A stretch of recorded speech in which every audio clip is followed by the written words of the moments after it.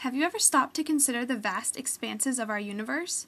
Have you ever wondered what lies beyond our home, the planet Earth? Earth is just one of the planets contained in our solar system. These planets can be separated into the inner and outer planets.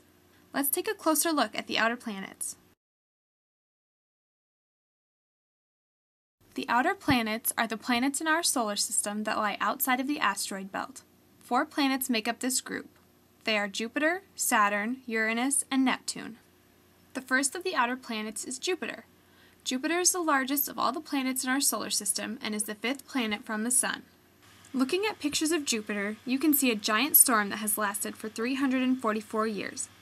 This storm has been named Jupiter's Great Red Spot and is two or three times the size of Earth.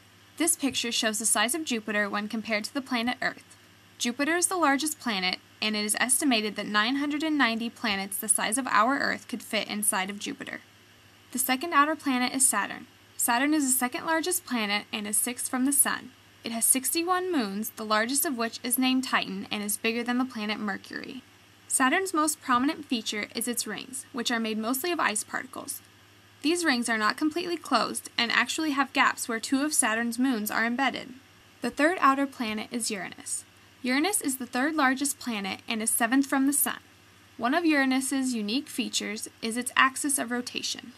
All of the planets rotate on an axis that is vertical, much like spinning tops.